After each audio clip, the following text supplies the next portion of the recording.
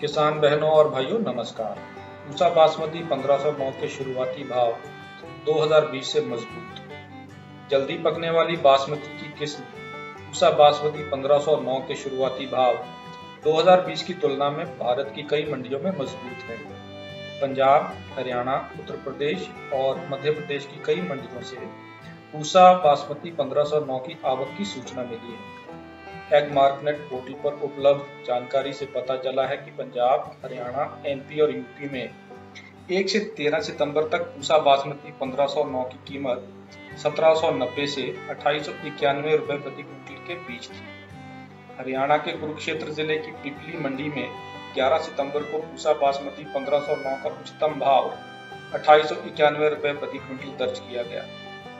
मध्य प्रदेश के ग्वालियर ज़िले की डबरा मंडी में इस किस्म का न्यूनतम भाव सत्रह सौ नब्बे प्रति क्विंटल 2 सितंबर को दर्ज किया गया।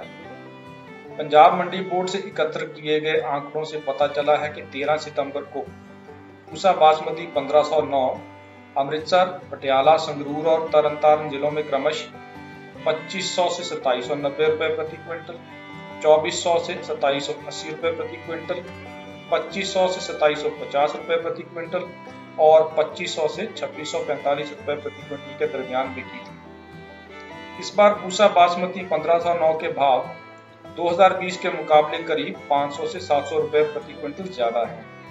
पिछले साल पंजाब और हरियाणा की कई मंडियों में इसकी कीमत लगभग 1600 से 2200 रुपए प्रति क्विंटल थी, जिससे किसानों में निराशा थी। इस साल पंजाब और हरियाणा में पूसा बासमती 1509 की बिक्री 2400 से 2800 रुपए प्रति क्विंटल के बीच हो रहे व्यापारियों ने कहा कि किसानों ने पिछले साल की तुलना में इस बार कम बासमती की बुआई की है।